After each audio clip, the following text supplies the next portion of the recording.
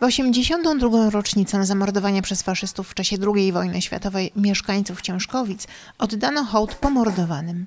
W niedzielę 5 czerwca złożono kwiaty pod pomnikiem ofiar faszyzmu 1939-1945. W uroczystości brała udział wnuczka zamordowanego Franciszka Hechelskiego.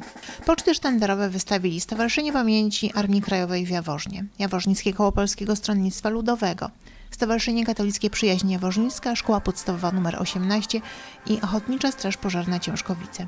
Pod pomnikiem złożono kwiaty m.in. od włodarzy miasta, radnych, Ludowego Klubu Sportowego Ciężkowianka, mieszkańców Ciężkowic i Klubu Konfederacji Jaworzno. Udział w uroczystości wzięli ułani z Towarzystwa Krzewienia Tradycji Kawalerii Polskiej imienia rotmistrza Witolda Pileckiego w barwach 21 Pułku Ułanów Nadwiślańskich. Uroczystości upamiętniają tragiczne wydarzenia z 5 czerwca 1940 roku. Jest to y, tradycyjne, cykliczne spotkanie, które odbywa się y, co roku w pierwszą niedzielę czerwca i w dniu dzisiejszym y, pragniemy uczcić pamięć zamordowanych 20 mieszkańców y, Ciężkowic w 1940 roku.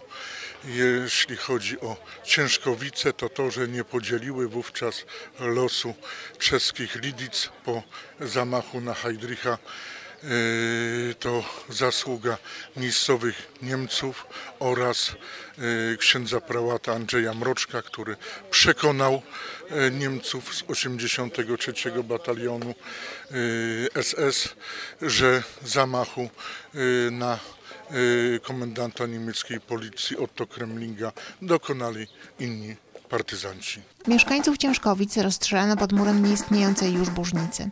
Miejsce ich pochówku do tej pory jest nieznane. Na zakończeniu uroczystości w intencji pomordowanych odprawiono mszą świętą w kościele parafialnym.